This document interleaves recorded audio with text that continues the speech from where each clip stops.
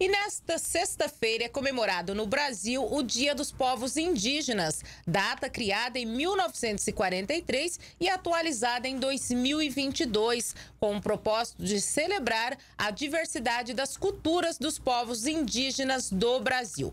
E agora você vai conhecer a história da aldeia Ofaié Chavante, que quase foi extinta, mas mantém a memória e a cultura dos povos originários em Mato Grosso do Sul. Quem conta essa história história pra gente é o repórter, o repórter Sidney Cardoso e o repórter cinematográfico Ivair Xavier. Expulsão, reivindicação, superação, a luta por direitos já conquistados. Traços que marcam a história dos povos indígenas no Brasil. Os primeiros habitantes do país antes da chegada dos europeus. Atualmente, há mais de 476 milhões de indígenas em todo o planeta, correspondendo a 6% da população mundial. No Brasil, há mais de 1 milhão e 690 mil indígenas habitando no território nacional.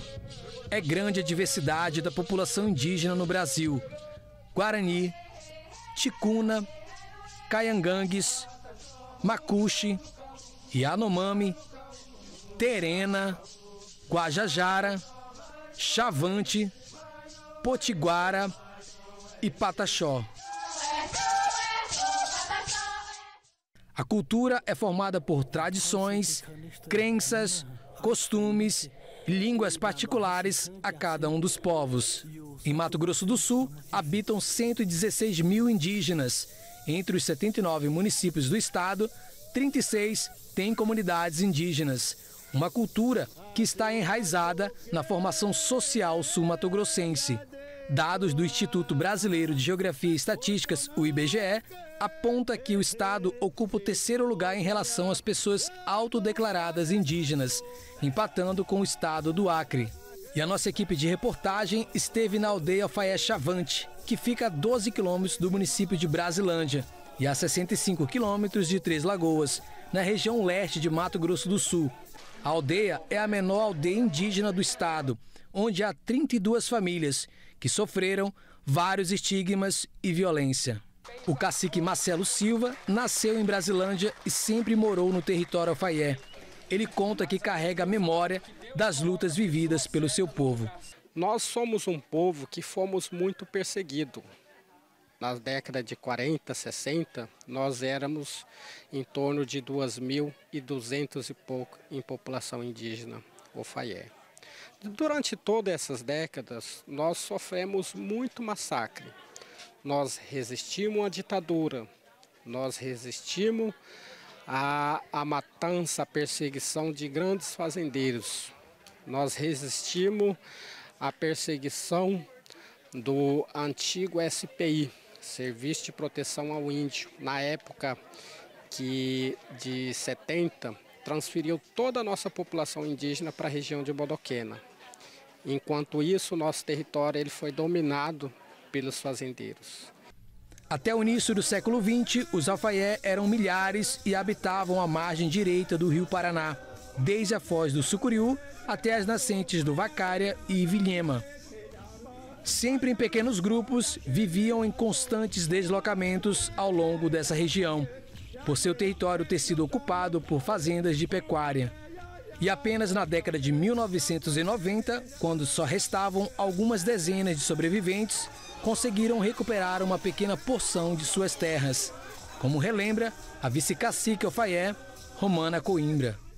Eu nasci nesse meio de briga, de luta, de sofrimento, de morte, de tudo isso. Na, nasci ali e quando foi para retornar para cá, eu falo que o nosso povo fala, eu falo, minha mãe fala, que apareceu um Deus na nossa vida, lá onde a gente foram que jogaram a gente, que é o Carlito, Carlos Alberto dos Santos Luta.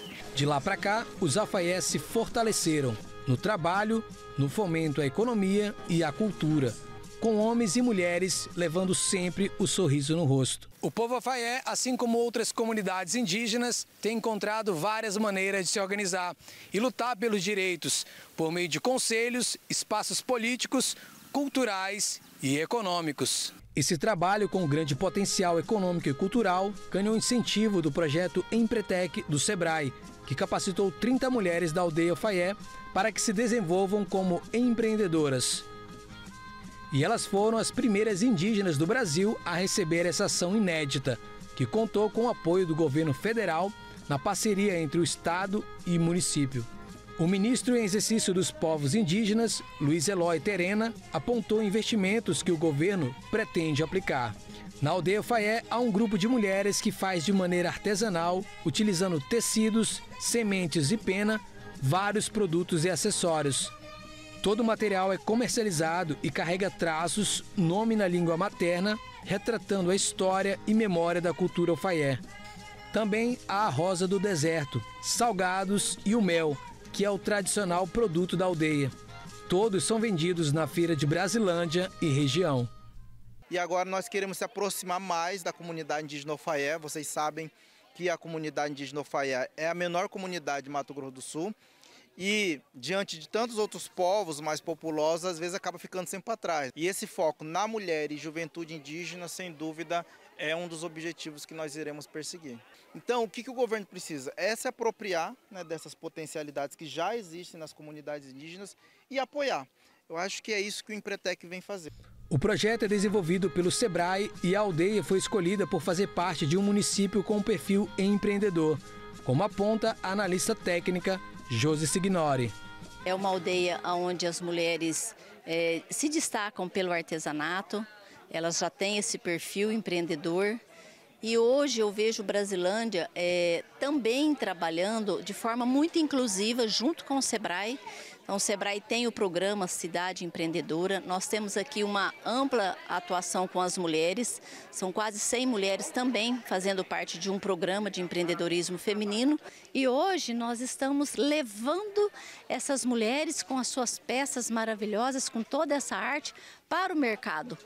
Os povos indígenas são importantes para a formação social, cultural, nas tradições, nas crenças, no respeito à preservação do meio ambiente.